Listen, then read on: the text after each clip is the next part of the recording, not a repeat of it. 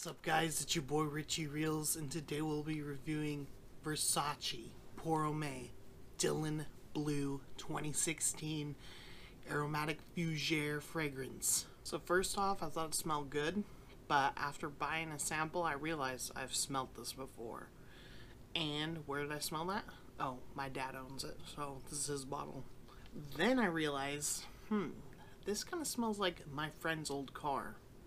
An old friend too didn't uh, didn't get along well after. I don't know. Um.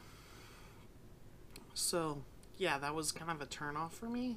So between not wanting to smell exactly like my dad and it kind of smelling like my old friend's car, I was like, I can't really buy this for myself. But I do think it does smell good, and I think you might be able to rock it.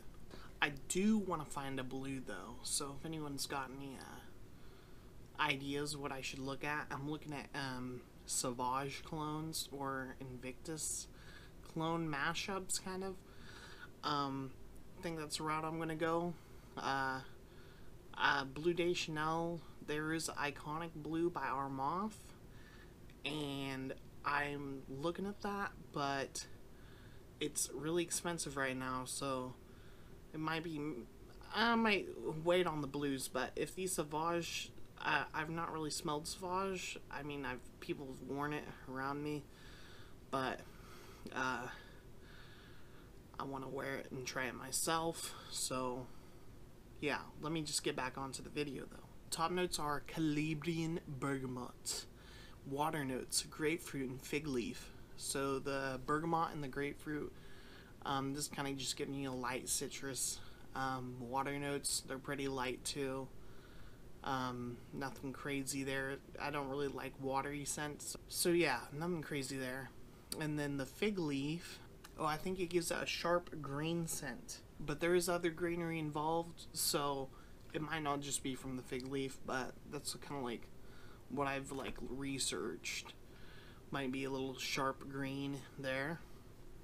So the middle notes, you have ambroxan, black pepper, patchouli, violet leaf, and papyrus. So ambroxan's supposed to have a metallic note. Um, I think this is kind of like what's giving it this fresh ozonic note. I'm not really getting the metals. Um, but like a lot of the blue fragrances are supposed to have like this fresh ozonic note.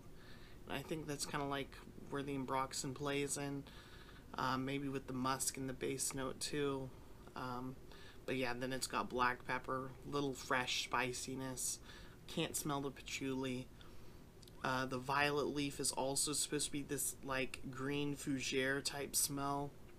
It's definitely not a barbershop fougere, um, but it's a sort of, you know, fougere meaning fern.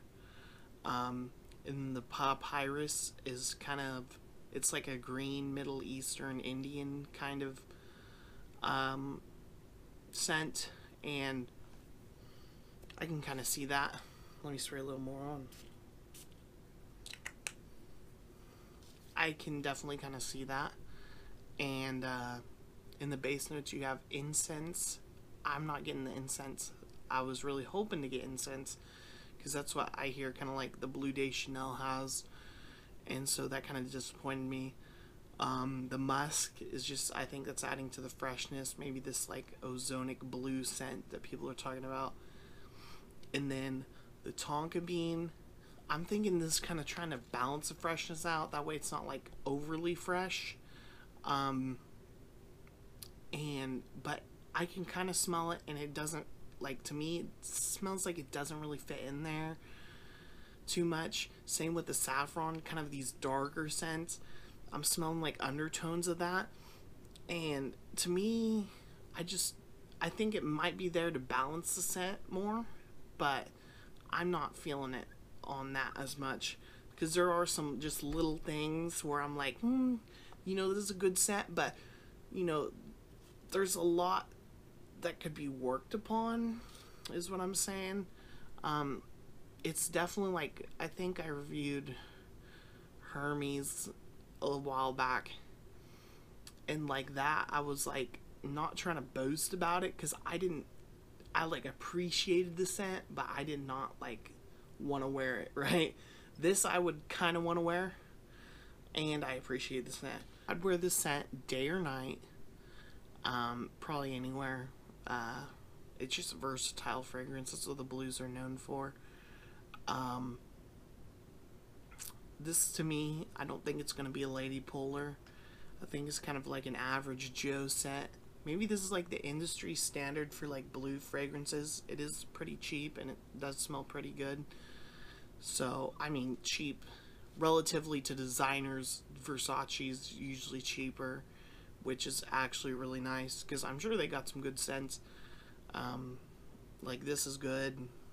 Well, they do got good scents, but nothing's just like really like I gotta pounce on that yet, right? But everything's it's all different. Like it's not like they're all using the same DNA, right? So Versace, um, I'm saying I'm thinking Eros or Eros Flame might be the one for me. Uh, I am a club and type scent guy, so there's that. But yeah, this Dylan Blue it does smell good. Could be a problem if you're like, I don't want a generic scent. Generic scent, there's nothing wrong with generic scent, right? But some people they want to compliment pull or whatever. This might be just more generic and just to smell good around people, uh, but not like maybe offend. I don't find it that offensive. Um, and I just think it's a pleasant scent. So maybe give it a sample, give it a go. Uh, if you liked what I talked about, then this might be the one for you. With the, ooh, I didn't even. So every time I write down like an overall like what I think it smells like. So now I gotta think up one real quick. So I want you to think light citrus, light water notes, ambroxan, fresh spicy, um, slightly dark notes in the base, sharp green notes, fougere, not barbershop fougere. That's kind of what I want you to think. My bad, I totally forgot to write that in there. Um, oh, and the little Woody, little Woody.